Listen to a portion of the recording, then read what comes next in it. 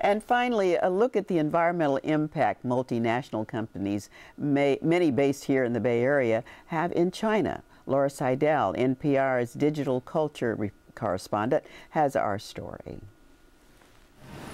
China, the most populous country in the world with more than 1.3 billion people, is well known as a major manufacturing hub for many Silicon Valley based high tech companies. But this great industrial boom has come with a cost. Environmental degradation of air and water quality has led to dangerous health conditions. Hundreds of millions of Chinese people are exposed to polluted air, Many don't have access to safe drinking water with rivers contaminated by runoff of heavy metals from manufacturing. Some American companies have pressured suppliers to cut costs by ignoring environmental standards. Former investigative journalist Ma Jun has witnessed these problems firsthand. He's been on the front lines bringing these issues into the public eye, most recently through his organization, the Institute of Public and Environmental Affairs. By tracking pollution throughout the country, Ma has been able to work with the Chinese government and multinational corporations to clean up their act. I spoke with Ma Jun when he was in town recently to receive a Goldman Environmental Award. I thought a lot of people here may not really understand the scope of the environmental problem that China faces, one which you yourself first discovered as a journalist and then moved on to realize you needed to do something about it. What was it you saw that made you think, I have to do something. During the 1990s, uh, mid 90s, and uh, I had the chance to travel to different parts of China. What I saw is this uh, um, massive industrialization going on, but in the meantime, our ecosystem is being uh, impacted. And we, at that time, some uh, in the northern part of China, many rivers have run dry. Uh, including the, uh, the, the mighty Yellow River, and in the south, uh, there are quite some cities uh, which have uh, crisscrossing rivers and lakes, but they still people don't have access to uh, sufficient safe drinking water because water got too much contaminated. And did you realize it really the potential for a drinking water crisis because you already saw people having trouble getting water? Were you seeing people getting sick?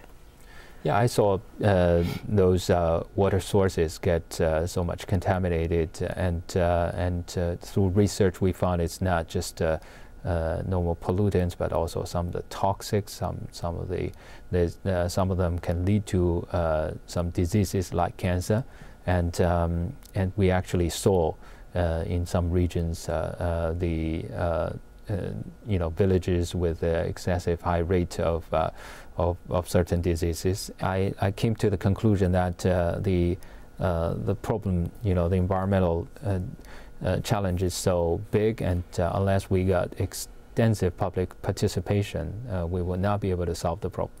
But, they, but people need to be informed before they can get involved effectively. So we need to give them information. So you began to collect information often from companies that were supplying American companies. Uh, yes, because China is not just manufacturing to meet the rising demand of its own people, but it's also the factory of the world.